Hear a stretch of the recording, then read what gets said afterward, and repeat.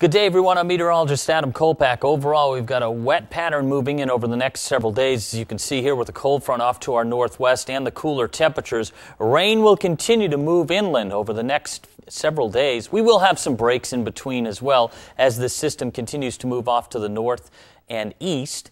For us, rain heavy at times for the coast, anywhere from 1 to 5 inches will be possible through Thursday morning. Low temperatures generally in the 50s. We're going to have a south wind from 10 to 40 miles per hour. There will be some higher gusts.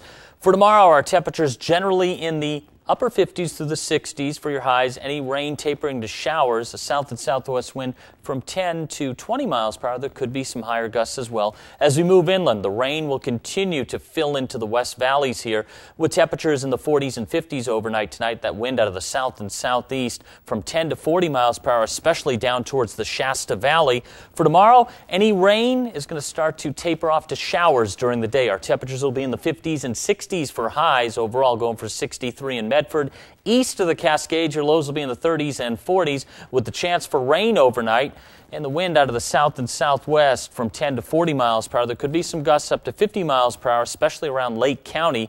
Going for a low of 45 for Klamath Falls. And also for Crater Lake, your highs tomorrow in the 40s any rain will be tapering off to showers during the day. Generally speaking, highs in the valleys will be in the 50s to around 60. That south and southwest wind from 10 to 25. There could be some higher gusts. As you can see, again, the seven day forecast is pretty active here.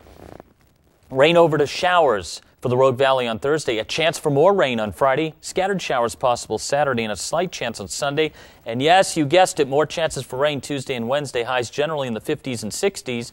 Klamath Basin, rain to showers on Thursday, chance for more rain on Friday. Showers likely on Saturday, and a chance for showers on Sunday. Chance for more rain Tuesday and Wednesday, with your highs in the 50s to around 60. Mount Shasta City, rain to showers on Thursday. Chance for rain Friday, and a chance for showers Saturday. Slight chance on Sunday. Chance for more rain Tuesday and Wednesday. For the coast, the chance for showers Thursday. Friday, a chance for rain. Showers likely Saturday and showers possible Sunday. The chance for more rain Tuesday and Wednesday for the coast. Highs will generally be in the 50s and 60s.